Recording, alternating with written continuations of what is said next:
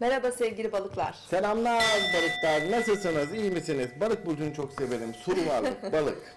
Evet, Ekim ayı. Ekim ayının ilk haftası bilinç okuru. Balık burcu yorumlarına hoş geldin sevgili sulu varlık. Ne diyorsun? Bu sulu varlıkların iyi günler bekliyor mu yoksa bunlar kuruyorlar mı? Sevgili balıklar yeni ay haftasına giriş yapıyoruz. Bu hafta e, 5 Ekim'de 11 derece terazi burcunda yeni ay doğacak. Yeni ay e, biraz sert e, gezegen enerjileri taşıyor. Hafta geneline baktığımızda aslında hafta başında balıklar biraz haftaya iyi başlıyorlar. E, Merkür ve Neptün'ün üçgen açısı romantizmi arttırabilir Aslında ben için. balıklar için gene Evet. de iyi bir dönem diye düşünüyorum. Merkür üçgen, Evet. Neptün çok baskın. Güneş Evet. kare Plüton biraz balığı daha az etkileyecek Evet, yerlerde. evet, evet. Çünkü Plüton en azından balığa olumlu bir etkide bulunuyor. Uranüs güneş karşıtı biraz maddi konularda 3'ü ve 4'ünde sorun yaratacak.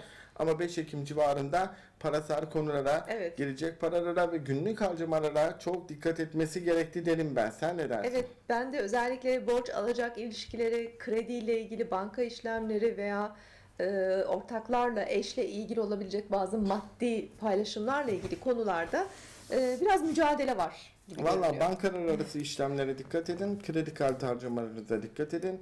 İnternette kredi kartı şifrelerini sakın aşırtmayın. Hmm. Güneş karşıtı Uranüs çünkü internet ve elektronik bankacılıkta para kaybedebileceğinizi gösterir. Sevgiler diyorum ben ha.